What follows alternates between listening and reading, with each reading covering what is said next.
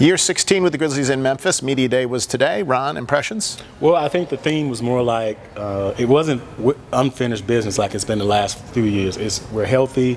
Nobody's missed a game yet, and we haven't lost a game yet. But uh, in gen- generally speaking, the Grizzlies feel like that They've had a great offseason, keeping up with the talent in the West, and the only thing that can derail them is uh, you know a lack of help. You're struck by how much David Fizdale has already made a difference in terms of the attitude, the refre- I mean, there really is, a, and it's media day, you expect it, but I do think there's a sense of enthusiasm that I didn't even necessarily expect. Well, he certainly comes off very prepared.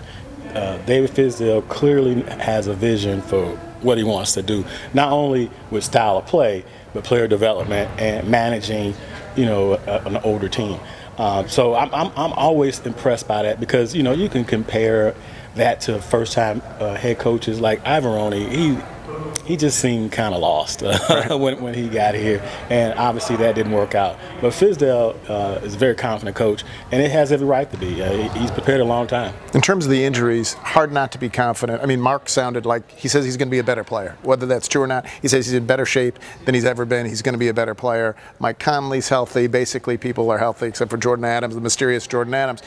But then it gets to Chandler Parsons, who's not really doing much, no timetable yeah, that to me is the one potential issue here. Like I, I'm to the point where I don't expect him ready for opening game. Oh, me neither. It, it, doesn't sound like they presented that kind of optimism. And what you really hope is that this turns out to be a much better signing than Vince Carter. I don't think Vince Carter was necessarily done.